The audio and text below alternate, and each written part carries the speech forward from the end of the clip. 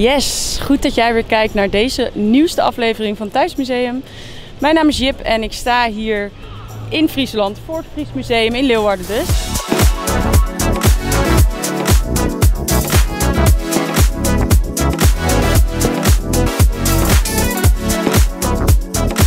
Nou, ik ben in Friesland omdat ik ben uitgenodigd door uh, de provincie Friesland voor een cultuurweekend Friesland.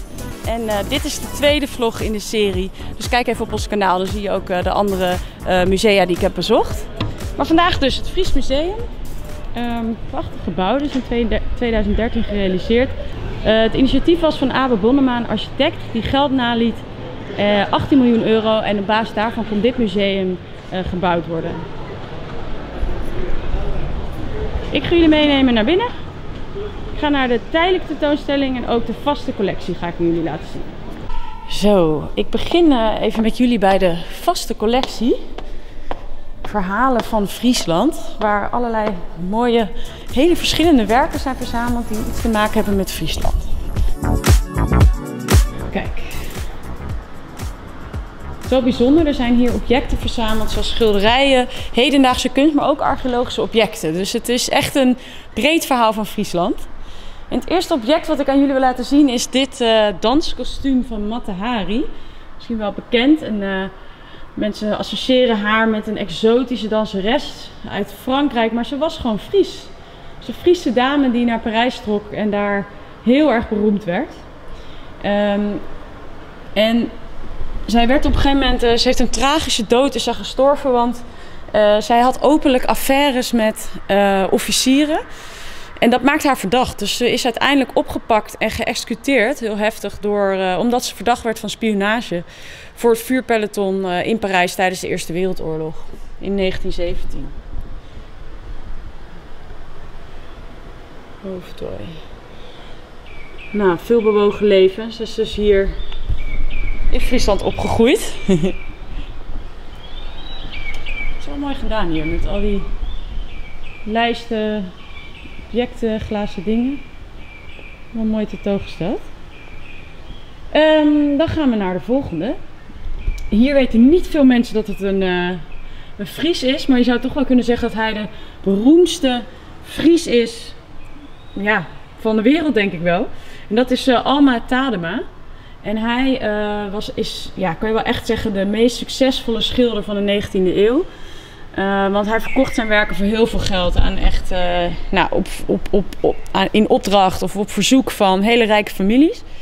En er zijn maar heel weinig schilderijen daarom in een Nederlandse collectie terechtgekomen. Dus die zijn blijven allemaal in privébezit. Maar het Fries Museum heeft er drie aangekocht, waarvan dit er uh, eentje is.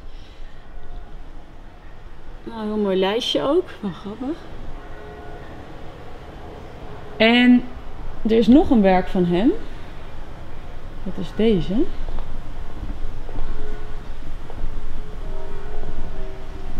Een veel groter werk. Dat is wel echt heel mooi.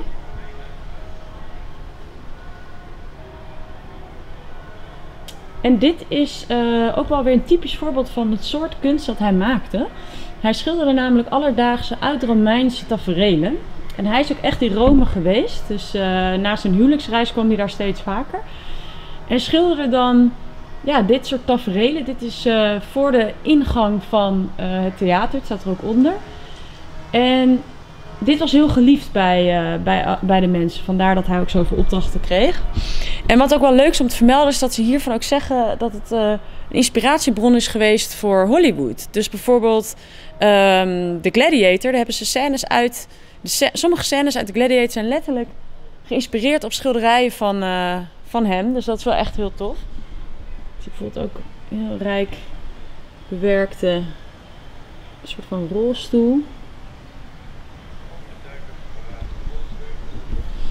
Een tijdje zijn zijn werken een beetje in uh, vergetelheid geraakt, maar nu is het weer razend populair en dus ook heel duur. Dus het is wel tof dat je dat hier kan zien. Het is wel echt grappig. Kijk, dat hier zo'n poppenhuis.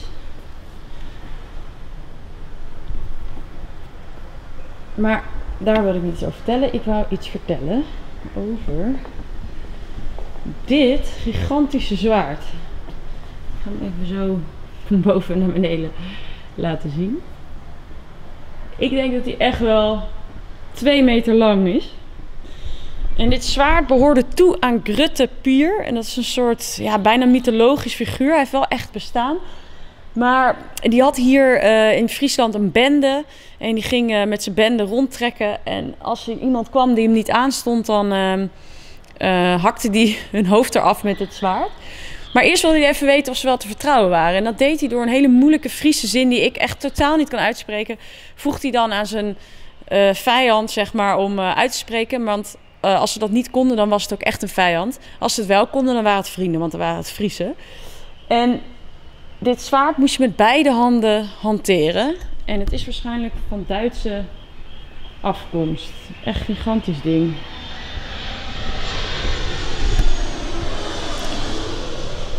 Ik laat nog even een archeologisch object zien.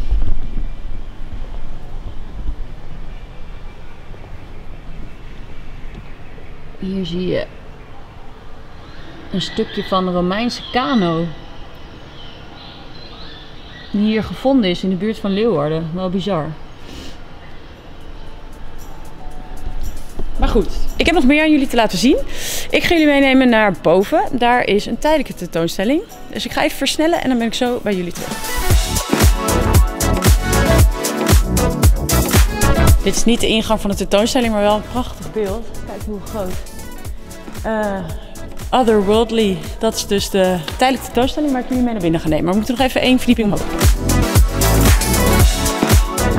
Yes, we zijn aangekomen bij de ingang van de tentoonstelling Otherworldly. Uh, dat is trouwens samengesteld door Hanna Hagenaars.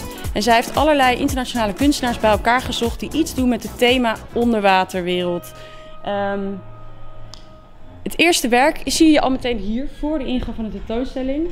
En die is eigenlijk een beetje om aan te geven dat het niet alleen maar gaat over de prachtige, uh, ja, idyllische onderwaterwereld, maar dat er ook um, veel actuele problemen zijn die bijvoorbeeld onder dat water of in dat water schuil gaan. En dat is wat je hier ziet is een uh, videokunstwerk van een grijper die de vluchtelingenboten sloopt, als het ware. En het gaat dus ook over de vluchtelingenproblematiek. Um, en het grappige, of nou, eigenlijk niet grappig, maar wat vind ik juist is wel dat dat wel binnenkomt, is dat die grijper op een gegeven moment uh, ook een Italiaanse aria gaat zingen. Dus het heeft een soort surrealistisch beeld, maar wel natuurlijk met, uh, ja, gemixt met echte beelden van die vluchtelingen. Wel heel indrukwekkend. Meteen wel een soort statement voor als je naar binnen gaat.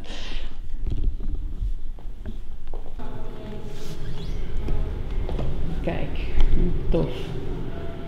Het is echt wel alsof je op een soort strand waar water overheen loopt of zo. Dat gevoel heb ik wel hierbij. Heel cool. Als je binnenkomt. Nou, dan komen we in de eerste zaal. En hiervan zegt de samensteller Hanna dat het een soort wonderkamer is met verschillende kunstwerken.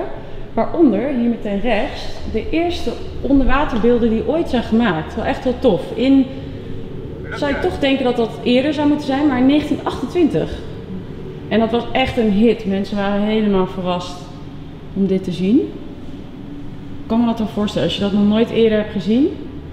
En je ziet zulke beelden, dat dat echt een soort van buitenaards leven wat gefilmd moet zijn, uh, zodat het voelt.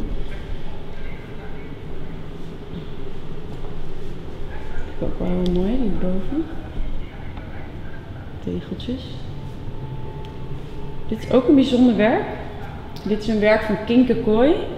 En zij heeft hier, een, je ziet het wel, een hele, uh, ja, bijna romantische. Ik vind dit wel een beetje een romantisch beeld van de onderwaterwereld. Maar het heeft ook wel iets seksueels. En het is ook een soort haarvertolking van de Venus. Het heeft ook wel iets weg van een vulva, maar ook een oester. Door die hele kleine parels die hier langs de rand helemaal zit. Het heeft iets heel vrouwelijks, vind ik. Um, en dat is denk ik ook wel de bedoeling. Als je goed kijkt, zie je hier bijvoorbeeld een strip van de anticonceptiepil. Er zijn ook dingetjes in geschreven. Kleine inkijkjes. En dit is een tekening, is acrylverf, kleurpotlood en gouache. Heel gedetailleerd. Volgens mij nog een werk van haar. Echt heel mooi. Zo jongens, dit was uh, weer mijn rondleiding door het uh, Fries Museum. Er is nog veel meer te zien, maar ik wil natuurlijk ook wel wat voor jullie overlaten als je hier natuurlijk naartoe gaat. Het is echt een aanrader. Ik vind het mooi. Modern kunstmuseum, veel diversiteit en uh, vooral die tijdelijke tentoonstelling echt heel tof. Um, dit was uh, de tweede vlog in de serie voor, uh, op uitnodiging van provincie Friesland. Om jullie te laten zien hoeveel leuke cultuur er is in Friesland om te doen.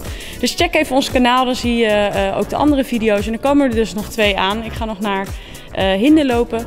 En ik bezoek nog twee fonteinen die onderdeel zijn van het project Eleven Fountains. Waarbij elf fonteinen in 2018 geplaatst zijn door heel Friesland. En daar zitten ook wel hele mooie tussen.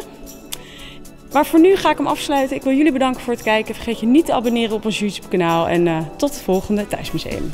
Doei!